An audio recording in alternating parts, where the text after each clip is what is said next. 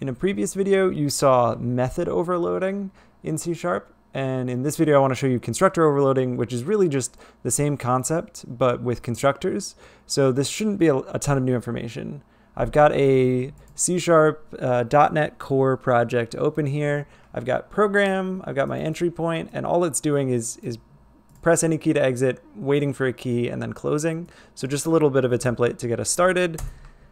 Let's pretend we're making like a jukebox application. Maybe it's in a video game or it's in, it's like Spotify. We're making a desktop application. So what I'm gonna want is a class that can represent music tracks. So I'm gonna call it music track, add it to the project, and um, we can store a lot of things in the music track, but let's let's store the track title and the artist name and the album name. You can store like genre and BPM and all sorts of things here. And we, we've seen before how to create a constructor where we specify the access modifier and then we have to specify music track, uh, same name exactly as our class. And that's how we define this as a constructor. And so a constructor gets called when we instantiate this class. And so we can create a, a default constructor that's not terribly helpful, where we're just going to set the track title to unknown title uh, let's set the artist name to unknown artist and the album name to unknown album. And I'm gonna create, just so that we can see something, since we're not actually playing music, let's create a display track info method. And to save us some time, I'm just gonna copy and paste something in here.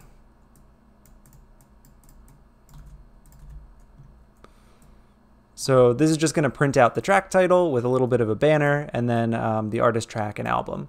And I'm going to make sure that I bring in static system dot console here to make those errors go away. Uh, ah, and I've made a typo clearly. So artist name, let's change that to artist name. Those go away no, no overloading so far. We're just creating a track that has um, a constructor that takes no parameters.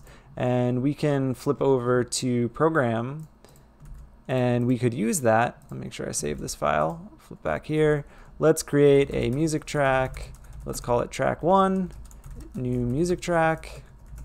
And let's do track one uh, and ask it to display its track info. So this will not be useful information because we haven't given it uh, the album name or the artist name or the, the album name. So it's just using those defaults that we set, unknown artist, unknown title, unknown album.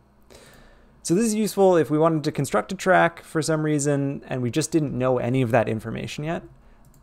But we can overload this constructor. So by overloading, I mean that we can create another constructor and this is valid as long as the parameters that we define here differ from the parameters that we defined here. So we can't do music track uh, with no parameters, but we could do a music track that takes one parameter, string track title, and we'll just do this line of code, but instead of putting the default in, we will put the real track title, and we could grab these two lines of code and drop them in. So we, we still don't know the artist name, we still don't know the album name. We flip back to program, and we could test this out. So I'm going to add a little bit of space here, write line, and then I'm going to create a second track. And this time I'm going to use the other constructor. And we can see uh, if I hit uh, let's delete these parentheses. If I open a parenthesis I can see that the IntelliSense is telling me that there are actually two options here. I can either use the default that has no parameters or uh, I can use the one that takes one track title as the only parameter. So you know I've been listening to um, time by Childish Gambino recently. So let's just throw time in here and display track two. So track one, unknown, and then track two, we've got actually time printing out, but we still don't know the artist or the album. So let's flip back to music track and let's create another constructor. So again, the key difference here for overloading is that the number of parameters or the type of the or type of parameters is different than the other constructors. So we can do string track title and if I don't add any other parameters, this is going to complain at me because we already have one that takes a single string parameter. So if I hover over the error, yep, music track already has a constructor with the same parameter types. So I'm going to go ahead and say, let's take in the artist name and let's take in the album name. We're going to do the same structure. Pass in the artist name, pass in the album name, and then we can flip back to program and we could go ahead and create another track. So I'm going to copy this structure, call this track 3. And if I delete the parentheses here and start typing again, we're going to see now there are three autocompletes suggested to us from IntelliSense. And the third one here takes those three parameters we just defined. So I'm going to go ahead and let's pull another track from Spotify that I've been listening to.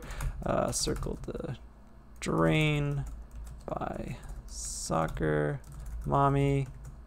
And the album is Color Theory. And display track number three. So there we go. Unknowns, time with the album and artist missing, and circle the drain with uh, all the information filled in.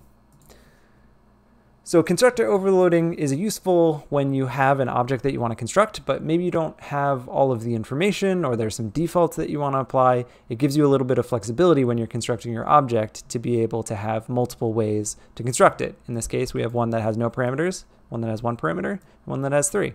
So super similar to method overloading because a constructor is really just a special type of method.